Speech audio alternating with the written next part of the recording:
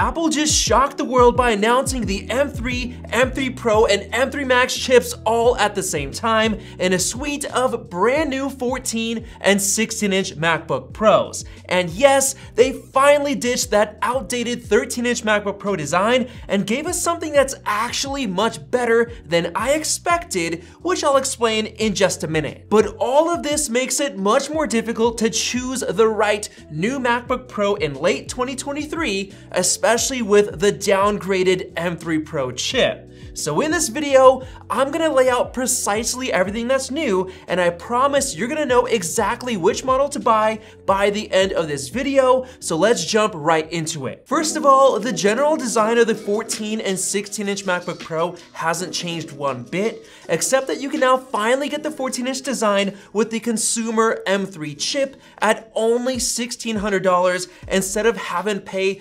$2,000 like we did previously. And for both of the high-end models, we finally have a space black finish that officially replaces the space gray using a brand new anodization process that's meant to stop fingerprints. And this color alone is really tempting me into upgrading, even though I know I don't need to. Now, as far as the features, everything's basically the same, except for the fact that Apple slightly bumped up the standard brightness of the displays to 600 nits compared to 500. So it's gonna be a bit brighter for regular use, including web browsing, but the maximum brightness isn't changing at all. And to my surprise or literal shock, the base 14 inch model comes with the same Liquid Retina XDR display, including the same 600 nits of brightness and the same 120 Hz ProMotion technology. I legitimately expected Apple to tone those features down for the base model, but they didn't huge bravo. It's also got the same 1080p webcam, the same six speaker sound system, the studio quality mics, and Wi-Fi 6E in Bluetooth 5.3 specs. In fact, I only found four major differences, with one of them being the loss of the Thunderbolt 4 ports that the high-end 14-inch model has, which makes sense. For the second difference, the base M3 model still has the limitation of only supporting one external display compared to two on the M3 Pro and four on the M3 Max, even though the M3 has the HDMI port and two Thunderbolt 4 ports. It still only supports one external display. For number three, it only has a single fan for cooling because honestly, that's all the regular M3 chip really needs. And for the fourth difference, the base M3 14-inch MacBook Pro has a slightly smaller battery at 70 watt hours instead of 72.4, but because of the low power usage M3 chip, it actually gets better battery life at 15 hours of wireless web compared to 12 on the M3 Pro version of the 14 inch and 22 hours of Apple TV app movie playback instead of 18, basically matching the battery life of the 16 inch MacBook Pro. Now as for the 14 and 16 inch high-end MacBook Pros, everything has stayed the same feature-wise other than what I've already mentioned, except that Apple also talked about a new advanced thermal architecture, so the cooling should hopefully be a lot better. And now before I get into explaining which one you should buy, I've got to talk about the chip differences and Apple's sneaky pricing changes this year. The M3 chip has the same 8-core layout as the M2, using 4 performance cores and 4 efficiency cores for the CPU, as well as 10 GPU cores. And to my surprise, it gets all of the new GPU features including the new mesh shader architecture, ray tracing, and the brand new dynamic caching feature. The M3 model also also comes with a 512 gigabyte SSD standard, which means that you finally get two NAND flash chips, which will finally solve the huge single NAND chip performance issues that we had last year on the base M2 Max. Now moving on to the M3 Pro chip, this one is really weird because it actually got downgraded in more ways than one compared to the previous M2 Pro. First of all, the M3 Pro has 37 billion transistors, a downgrade from 40 billion on the M2 Pro. This likely helps Apple save costs and improve yields on the expensive 3 nanometer wafers from TSMC so that they can keep the price at the same 1999.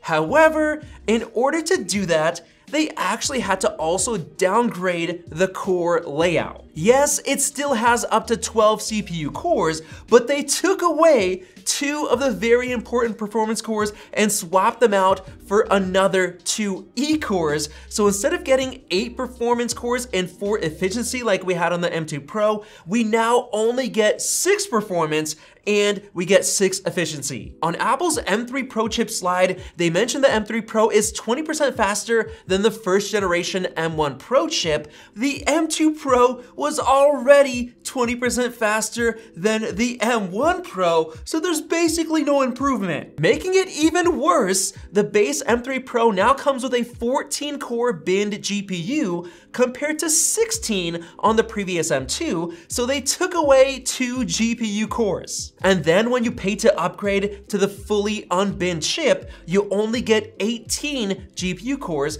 compared to the previous 19 cores, another downgrade. But wait, it actually gets worse because the M3 Pro has less memory bandwidth compared to the M2 Pro only 150 gigabytes per second compared to the previous 200 gigabytes per second. This is because they have apparently switched to using a setup of three memory modules on the M3 Pro compared to four modules on the previous M2 Pro. But at least that meant that we got a silent upgrade to 18 gigabytes of RAM in the form of three 6 gigabyte memory modules instead of the previous 16 gigs of RAM. Those are all very weird choices, but my only guess is that Apple realized that they previously made the mistake in making the Pro chip so close in performance to the Max chip and now they're downgrading it to make the Max look even better. And now with that said, we finally have the new M3 Max chip where Apple absolutely pulled out all of the stops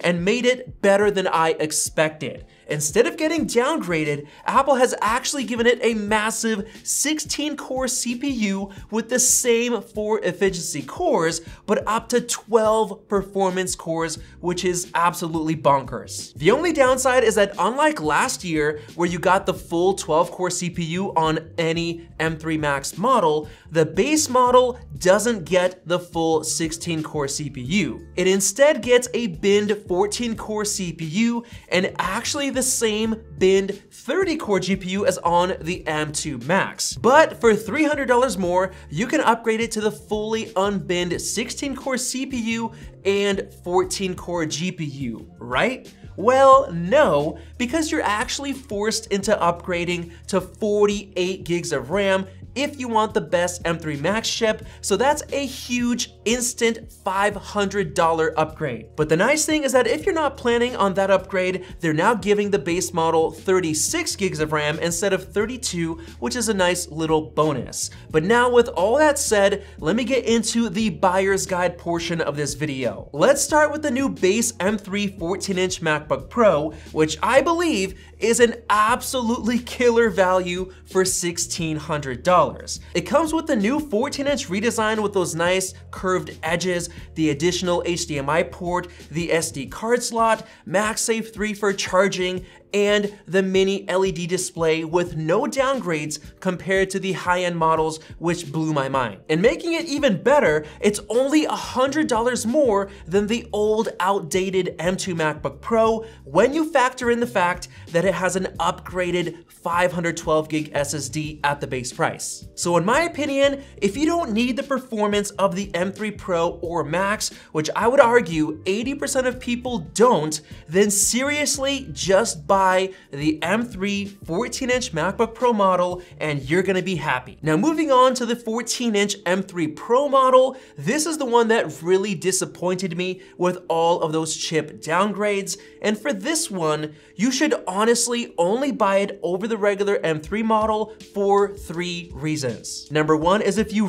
really want that new space black finish. Number two is if you really want more performance, seeing as the M3 Pro gets 11 CPU cores instead of 8 and 14 GPU cores instead of 10 at the base price with available upgrades. And number three is if 8 gigs of RAM isn't enough for you on the base M3 model, and you were gonna upgrade to 16 gigs, which brings the price up to $1,800, making it cost only $200 less than the M3 Pro version, which actually gets 18 gigs of RAM and a lot of the performance improvements, as well as the additional fan, Thunderbolt port, and support for another external display. But if none of those things matter that much to you, then seriously just get the M3 14-inch MacBook Pro model. Now, the only other reason to get the M3 Pro chip is if you really want the 16-inch MacBook Pro size, which comes base with the unbinned 12-core M3 Pro chip for $2,500. But let me tell you, the M3 Max is truly the one that you want to buy this year if you care about value and performance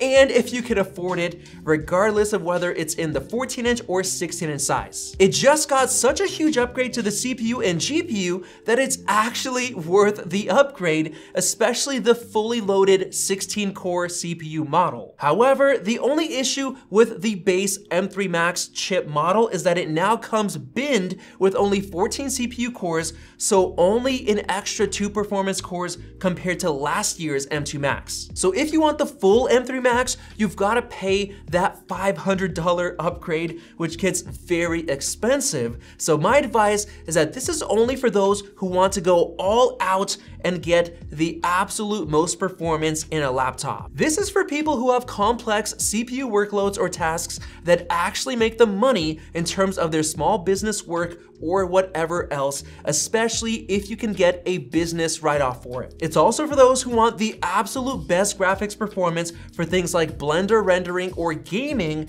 especially thanks to ray tracing and the other GPU improvements. But honestly, I'd like to mention again that the regular M3 chip is more than good enough for most people out there doing common work, so don't spend your money if you don't have to, especially in this economy. So with that said, hopefully you enjoyed this buyer's guide, and if you have any further questions or you need purchasing advice, let me know down in the comment section below. And if you're struggling with the question of if you should upgrade or not, check out that video over there and subscribe for our in-depth testing videos next week. Thanks for watching, and we'll see you in the next video.